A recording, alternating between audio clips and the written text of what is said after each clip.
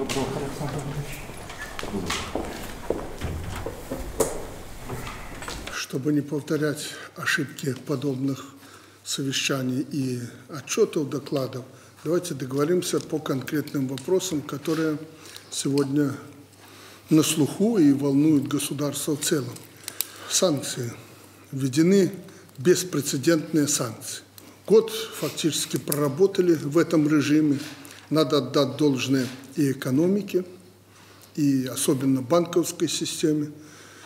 Мы выдержали эти санкции. Но, как я говорил, успокаиваться ни в коем случае нельзя.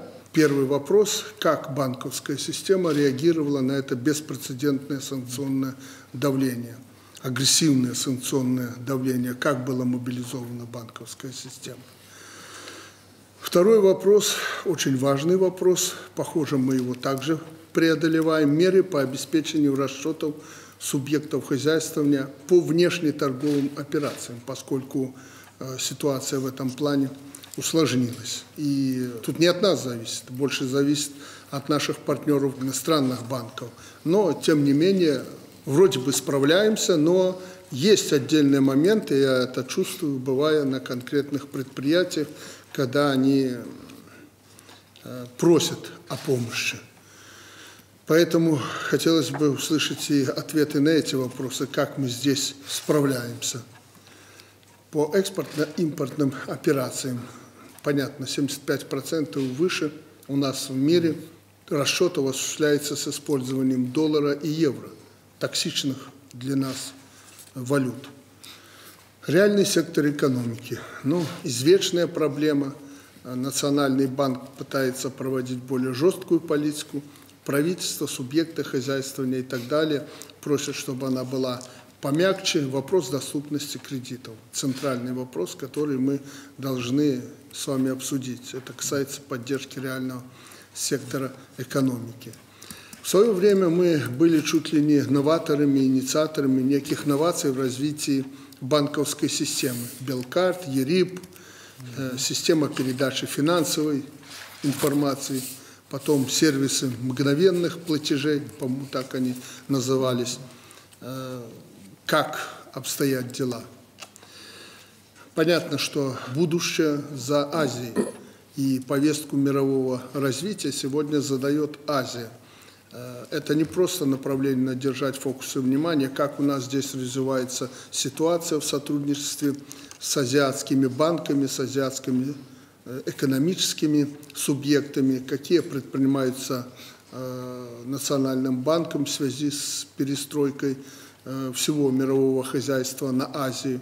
Вопрос во времени, не упускаем ли мы здесь время. Следующий вопрос – интеграционные проекты с Российской Федерацией – все ли здесь выполняется в связи с нашей договоренностью. Ну и инфляция. Инфляция, она во многом зависит от Национального банка, но не во всем. Если по букварю экономическому или финансовому, ну, это вопрос Национального банка. Я так не считаю. Рост цен, инфляция – это вопросы э, всех уровней власти страны. Конечно, Национальный банк здесь традиционно определяющая структура, не будем от этого отказываться, но оценка Национальным банком э, ситуации с инфляцией, ростом цен, критерий один.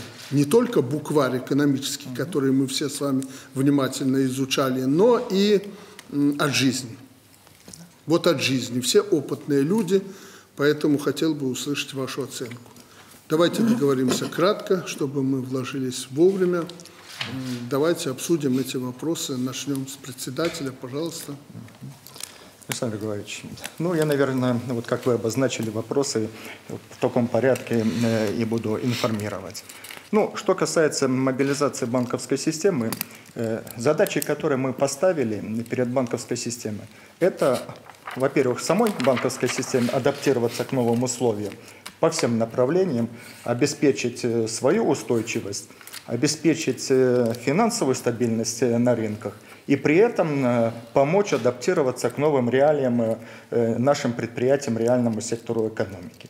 Вот, собственно говоря, вот по двум этим каналам мы и работали. Когда была ситуация крайне сложная, Мы скрывать не будем. Валерий Иванович был участником всех этих встреч. Мы буквально один раз э, в неделю обсуждали, какая ситуация, определялись, э, что э, может и что должна делать банковская система. И таким образом с той непростой ситуацией справились, я считаю, что очень достойно.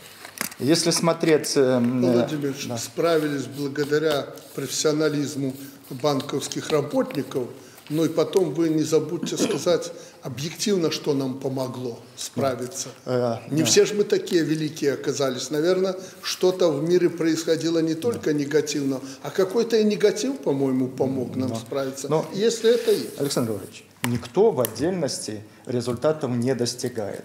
Результаты достигаются в экономике, когда есть общая, целенаправленная, хорошо скоординированная работа правительства, Национального банка, банковской системы, всех других институтов. Владимир я тут намекал больше на внешние факторы. О. Это понятно, что вы Э, сказали. Да. В части внешних факторов, э, безусловно, у нас э, произошли э, э, процессы перераспределения торговых потоков. Вот. Если смотреть по цифрам, я уже не буду приводить. Ну, намек понял. ты. Да. Я это имел в виду. Да, да.